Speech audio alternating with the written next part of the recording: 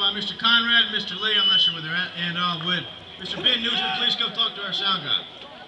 Give it up for Conrad and Lee.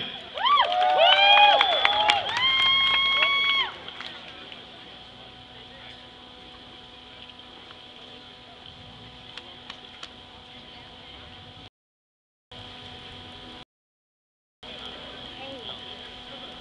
They two more ads.